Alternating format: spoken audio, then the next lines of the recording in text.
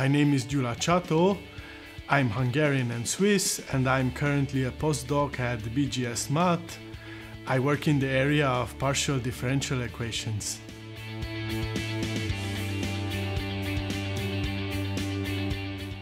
I work on partial differential equations. Uh, these equations are very important, for instance, in physics.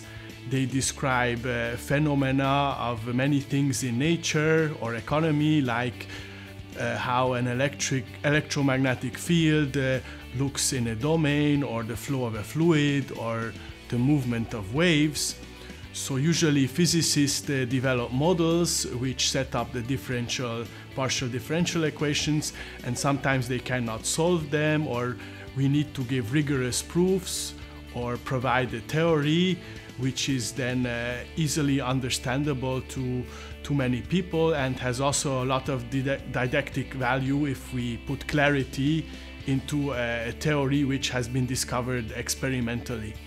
Currently I work on uh, something that is called uh, fractional Michael-Simon-Sobolev inequality, which is a kind of isoperimetric inequality for non-local perimeter on manifolds.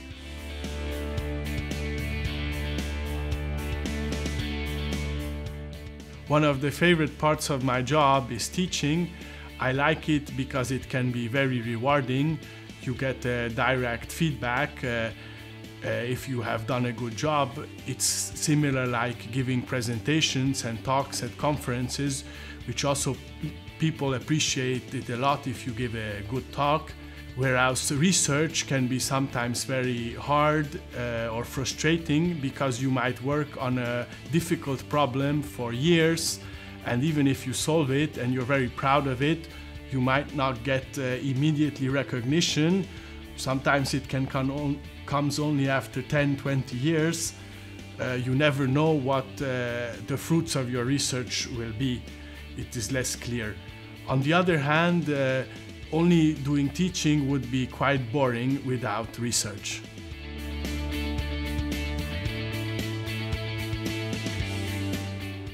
I would pick creativity because uh, many times you have to solve uh, problems a, by a new or original method. Some people say that because of the fact that I speak six languages fluently and have lived in several different cultures, I have a very creative way of thinking and come up with original methods to solve a problem. Another quality is perseverance. Uh, several times during my PhD thesis, my advisor even uh, complained that I'm too perseverant and told me to give up on certain problems. Uh, but actually, once he was wrong because uh, I tried again and again for many years on the same problem and when he told me to give up on it, just two weeks later, I had the breakthrough idea, which led to, to quite nice uh, research results. Another quality is discipline.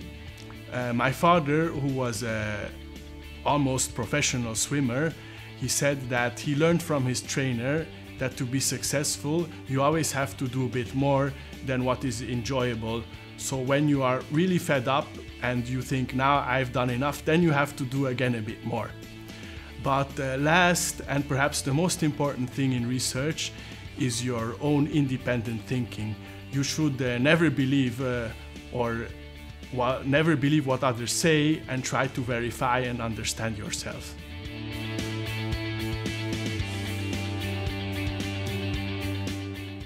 I brought with me this little device which I still carry around every time I go to the mountains. So this device is a compass uh, which nowadays uh, no one uses because uh, everyone, like me too, uh, uses a GPS for orientation. But if the GPS fails, this little device can save your life uh, if you get in dense fog in the mountains. I have very nice memories of the times when it was a challenge to find the way in the fog with only this simple instrument. Uh, and I still like challenges like the research that I'm doing now.